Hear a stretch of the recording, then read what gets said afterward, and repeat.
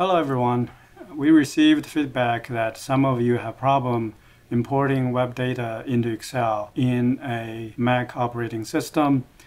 Uh, unfortunately, Mac is a little bit different from, uh, from Windows for Excel. And uh, the importing data directly from web does not work quite well as well. So in this video, let me show you how to just copy the data directly into Excel from the browser. Again, this is the James Harden data page. Rolling down. And the data we want to copy is the regular season totals. Use your mouse left button to select this table by push down and drag. And now we have select everything we need.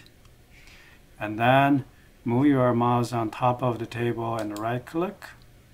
And then choose copy now you have the table going to Excel.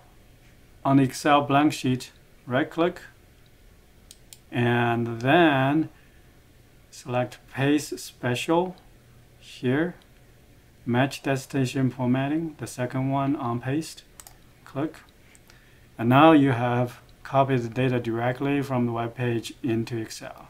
This operation is suited for relatively small tables then you can move on to summarize this data. That concludes this video.